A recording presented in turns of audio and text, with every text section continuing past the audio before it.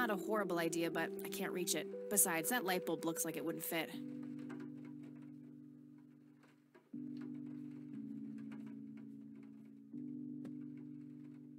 Free light bulb. Score!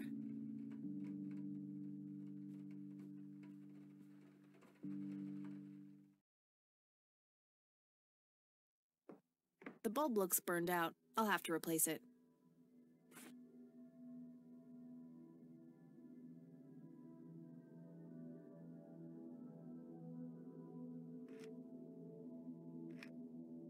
There we go.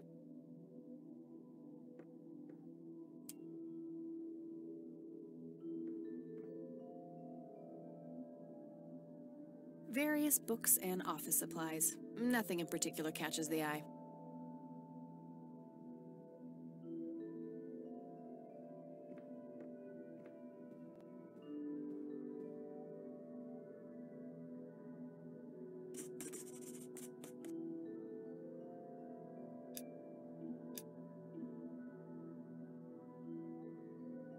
Briefcase sealed by a combination lock.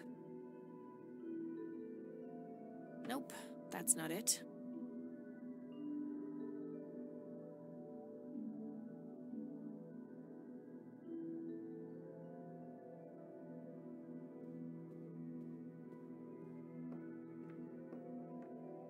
Just some old bills. Nothing interesting. A worn office chair on wheels. I'm feeling a sudden urge to do a race. An old typewriter covered in cobwebs. A thick book about math.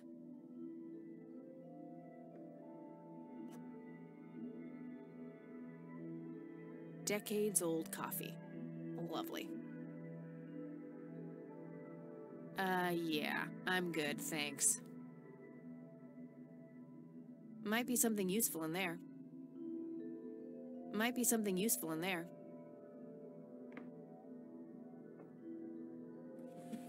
Nothing. Empty.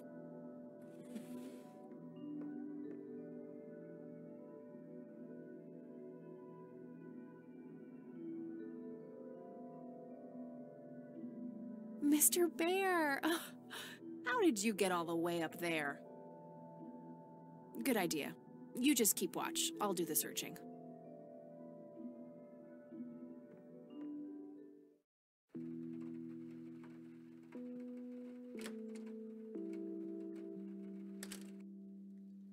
Oh, hello, dear.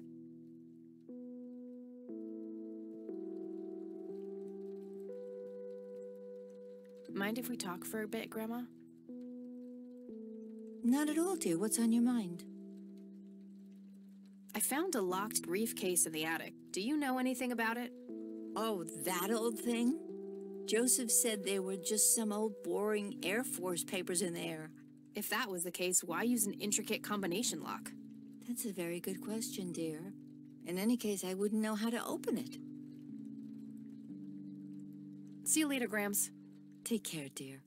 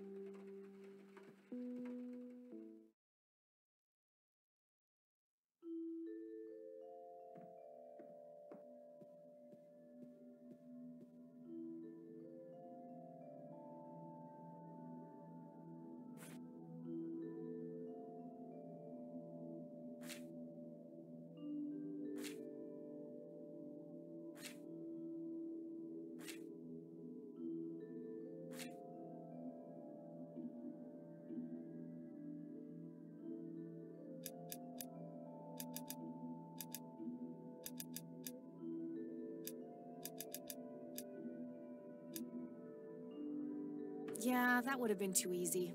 I doubt the book alone is enough to solve this.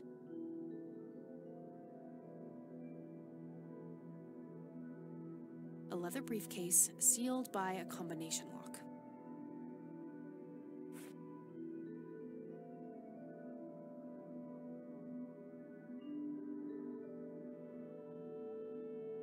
That action doesn't seem productive to me.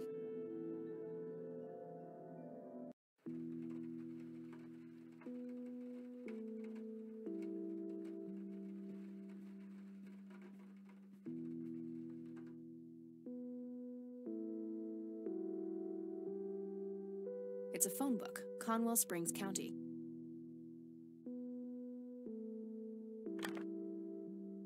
No result for that. Nope, couldn't find it.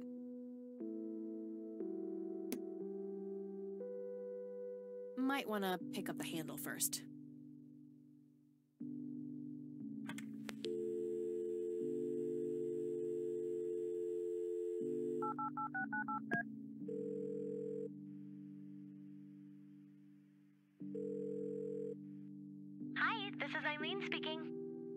It's me, Kat.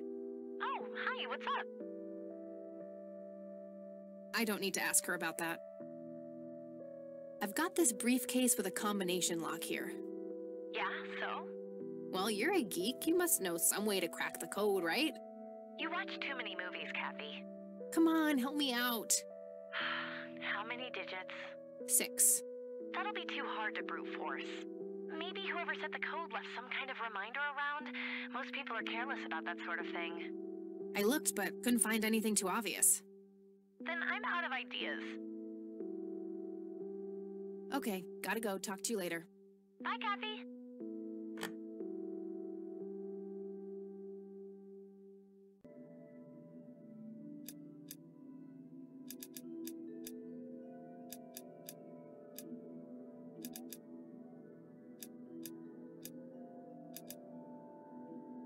I must be missing something. What was that weird first message on the tape?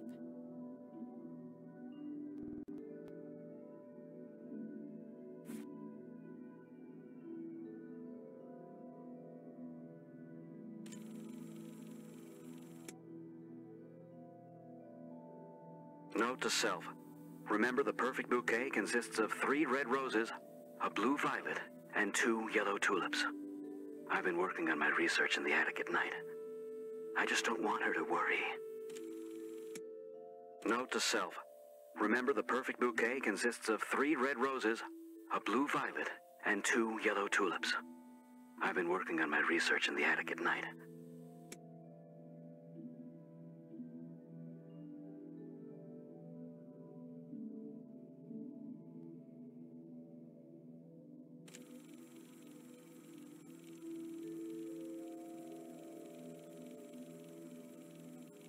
Been working on my research. Note to self. Remember the perfect bouquet consists of three red roses, a blue violet.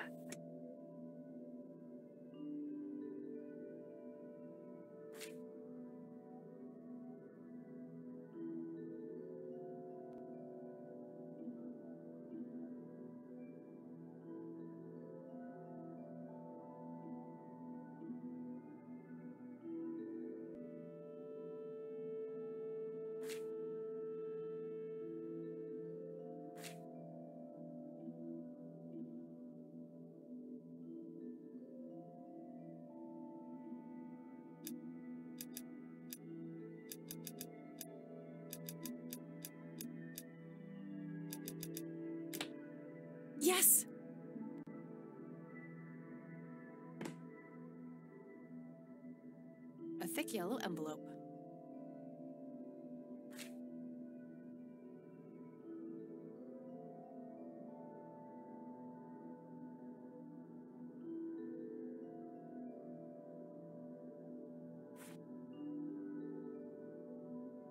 It's the envelope I found in the briefcase.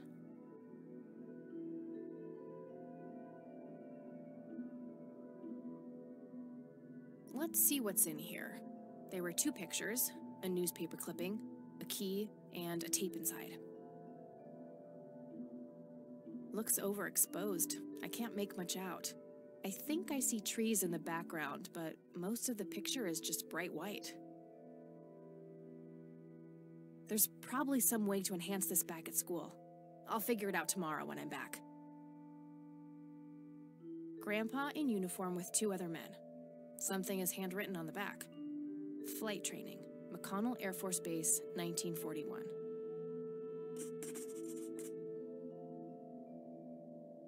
That combination makes no sense. Tragic drowning in Conwell Springs. In early morning on Sunday the 14th, a teenage girl found dead near Conwell Lake. Girl is survived by her mother, father, and younger brother. The funeral service will be held at Conwell Cemetery on the 21st of July. The notice is dated July 15th, 1975. Tragic story. I wonder why Grandpa saved this.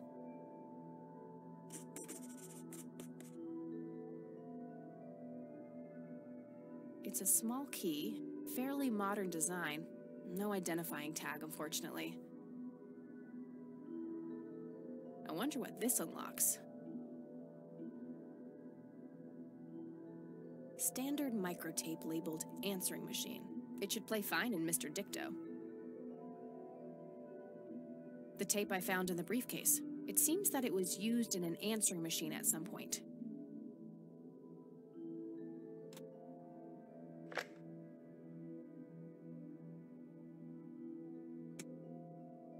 You've reached the Rain residence. Leave a message after the beep. Hello, Joseph, Mrs. Rain. It's me, Charles. I thought I'd give you a call. Erica just had her firstborn. It's a boy. Thankfully, he looks nothing like his father. Uh, listen, I was thinking maybe you'd like to come and visit. And what about your little Kathy? Maybe she wants to see the baby. Well, anyways, hope to see you soon. All the best. Bye. You people make me sick. We're never coming back. Don't call, don't write. If you ever try to contact us, I will call the police. Joseph, you there? It's me, Cocky. I, it happened to me too. And I'm not going to tell any of those bastards. They got it all wrong. You're the only one I trust now. Just call me back as soon as you can. Hmm. I wonder who this cocky is.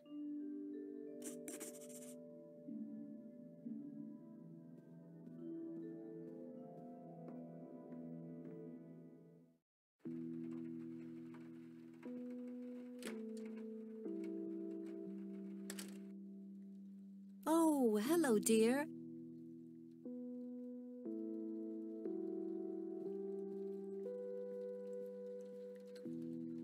Mind if we talk for a bit, Grandma? Not at all, dear. What's on your mind?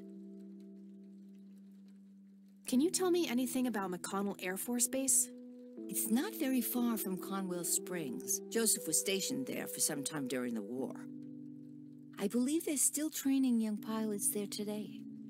So, when did Grandpa enlist in the Air Force? Oh, it was barely past the honeymoon when Joseph left to fight in that terrible war, together with his best friend Charles and my brother Andrew. Those were nerve-wracking years. I was so worried I thought I would burst. Every short visit from Joseph was a joy, but he kept going back to the front, to my great dismay. When I told Joseph about being pregnant with your father, he finally realized that enough was enough. He had done his duty. Shortly thereafter, he returned to a quiet farmer's life in this very house, helping your great grandfather with the crops until he passed. Do you know anything about a young girl drowning around here? Oh, yes. It was the saddest thing. She was only 16. We never really knew the family. They preferred to keep to themselves. Do you remember the name of the girl or her family? I'm awfully sorry, dear. I, I just can't recall. That's okay, Grandma. I was just wondering why Grandpa would have wanted to save this. Joseph was always affected by the tragedy of others. Perhaps he wanted to do something for the family. In any case, he didn't speak to me about it. Does the nickname Cocky mean anything to you? Sounds vaguely familiar.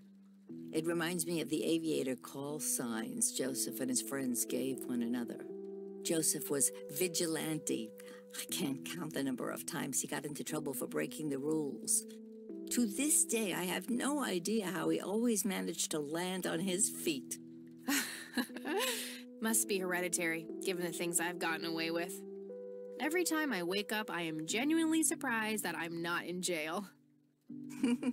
I'm sure it's not that bad, dear. But to get back to the subject, you don't have any idea of who this cocky is? I'm afraid not, but the Air Force might be a good place to start.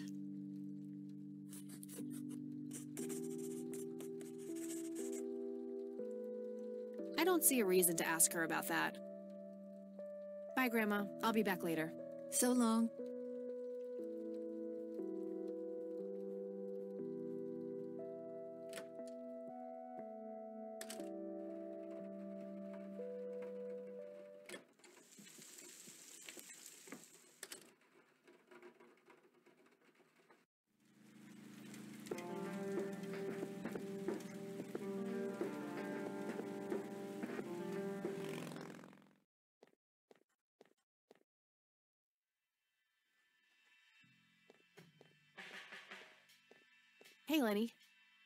Hello, Kathy.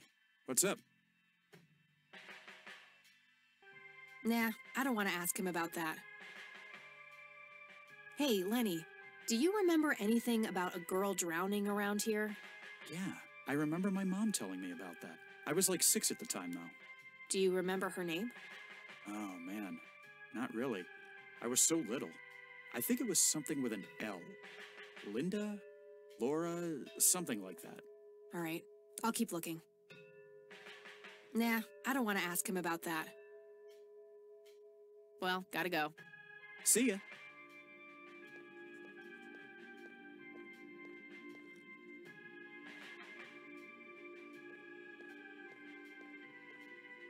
Hello, Sheriff. Mind if I ask you a few more questions?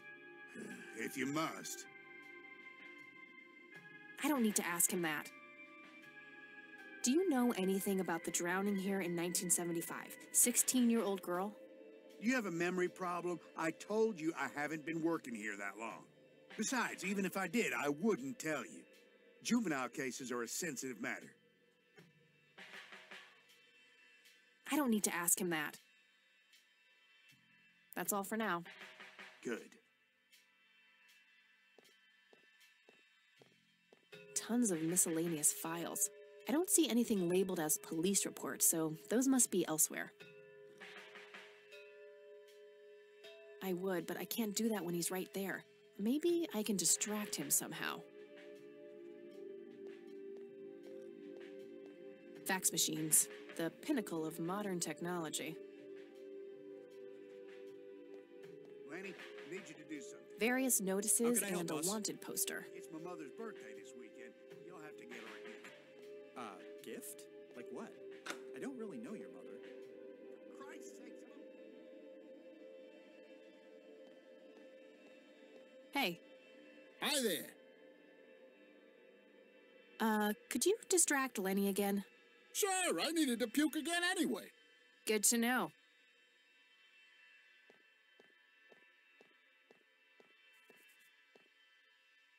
I'll need a key.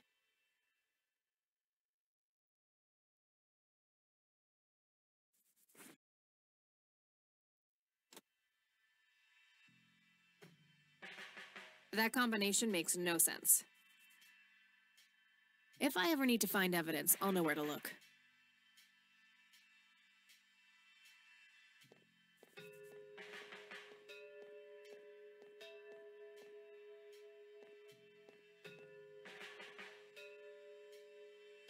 Guess what? He's having some kind of fit in there. Not again. Here we go again.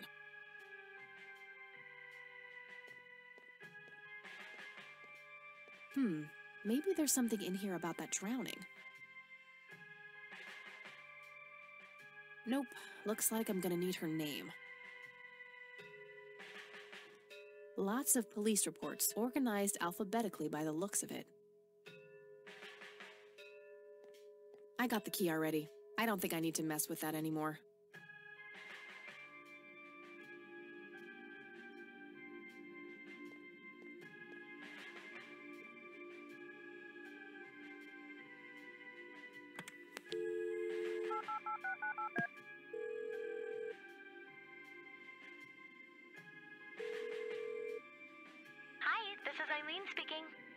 Hey, it's me, Kat.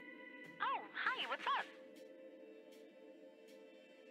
I'm trying to track down this young girl who drowned in the lake here. Okay. How hard can a dead person be to track down? They tend to stay in one place, you know. Ha, very funny, E. I don't even know her name, just when she died. Oh, well, there must be some way to connect a name to that date. Yeah, maybe. I don't need to ask her about that. I'm trying to find this guy, but all I have is his nickname, Cocky. Well, what do you know about the guy? Not much. I think he was in the Air Force and served with Grandpa. Maybe you could try to find somebody in the Air Force who knew him then? Yeah, that might be worth a shot. Okay, gotta go. Talk to you later. Bye, Kathy.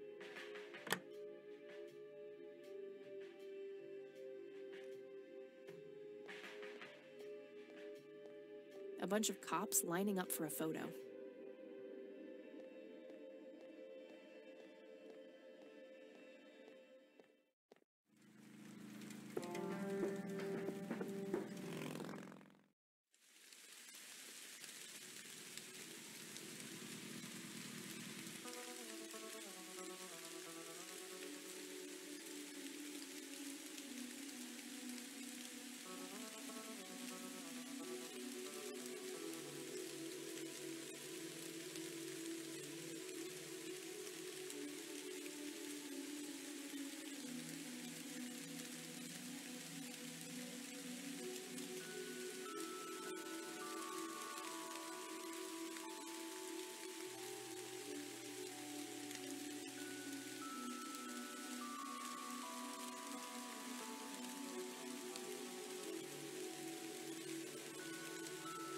All right, this is the right date. Looks like her name was Lily Myers. I should try to get a hold of her family.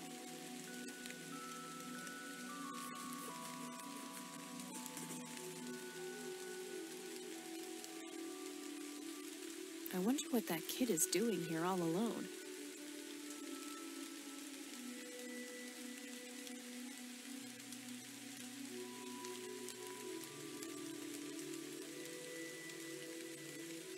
A little boy, maybe five or six years old. Hey, kid. Hi yourself. What are you doing? None of your business. Huh, I like you, kid. You're not here alone, right? Where's your mom? Oh, she's around. I don't see her. You must be blind or something. I'll go look for your mom, okay? Don't go anywhere. Whatever. I'm gonna find out what happened to you, Grandpa. I promise.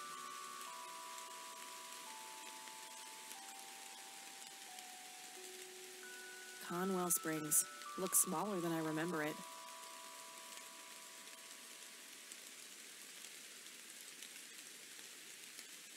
No reason to go in there. A family mausoleum. The family must have been fairly rich. Those things don't come cheap. It says price.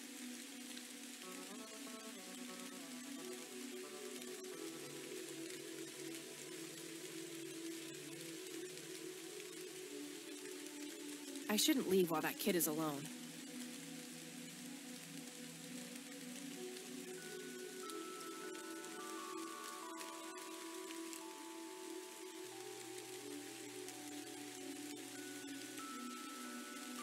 Kid? Guess he found his mom.